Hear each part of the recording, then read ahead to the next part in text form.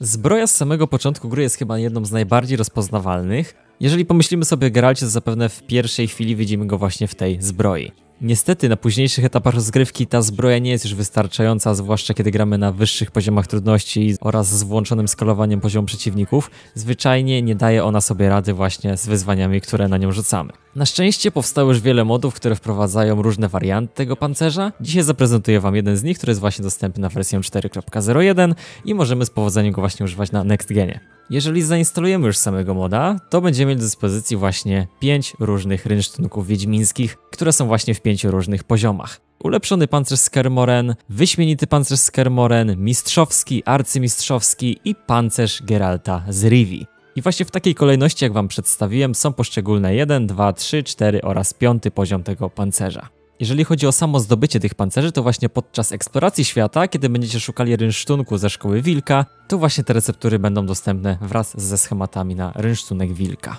Wygląd pancerza niczym nie różni się od tego, który jest domyślnie dodany do gry, ale tutaj zaprezentować Wam chcę również inną modyfikację, która właśnie odmienia delikatnie wygląd tego rynsztunku. Jest on delikatnie ciemniejszy i poprawia on również wygląd naramienników w tej zbroi, dzięki czemu wygląda ona zdecydowanie lepiej. A dodatkowo zmienia teksturę tej kolczugi, która jest na tej zbroi. Jest ona zwyczajnie wtedy teksturą w rozdzielczości HD. Statystyki tego pancerza prezentują się następujące, jeżeli chodzi o pierwszy poziom. Tutaj sugerujcie się głównie bonusami, które one dodają. Warto też dodać, że mam zainstalowany mod na balansowanie tego pancerza, który został polecony przez samego autora modyfikacji. Link do niego również możecie znaleźć w opisie. Więc statystyki, które teraz widzicie, mogą się różnić od tych, na które możecie napotkać podczas waszej gry, jeżeli nie macie żadnego moda, który balansuje właśnie statystyki tych wszystkich rzeczy. Także bonusy prezentują się następujące, jak możecie widzieć, każdy z kolejnych poziomów dodaje już większą ilość tych procentów, jeżeli chodzi o te wszystkie bonusy. Jedną z anomalii, które zaobserwowałem właśnie z tą modyfikacją na balans jest to, że pancerz Geralta z Rivi jest delikatnie słabszy, jeżeli chodzi o sam pancerz. Na szczęście wszystkie te procentowe statystyki, takie jak odporności czy siła ataku, są już lepsze niż ten poprzedni poziom tego pancerza.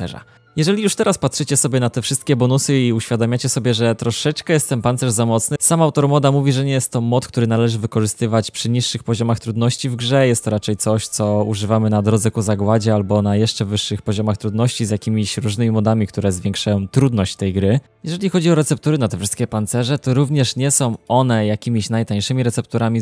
Zwyczajnie wymagają one różnych elementów e, naszego rynsztunku, tak jak teraz możecie zobaczyć, że ulepszona, ulepszony pancerz z Kermoren wymaga ulepszonej zbroi wiedźmińskiego cechu wilka, czyli również nie jest to coś na zasadzie, że mamy tą zbroję dosłownie z powietrza i możemy ją wykraftować za pomocą dwóch kijów, e, jednego patyka i czterech sznurków. E, arcymistrzowska zbroja potrzebuje zbroi wiedźmińskiego cechu żmii i arcymistrzowskiej zbroi wilka z Kermoren. Także coś za coś otrzymuję bardzo duże bonusy, ale ta zbroja też nie jest jedną z najtańszych zbroi i tak jak wspomniałem na początku filmiku, jest to już raczej zbroja na endgame, na końcówkę naszej rozgrywki, gdzieś może okolice krwi i wina, też w zależności w którą stronę przechodzicie grę, ale na pewno jest to już na dalsze etapy rozgrywki.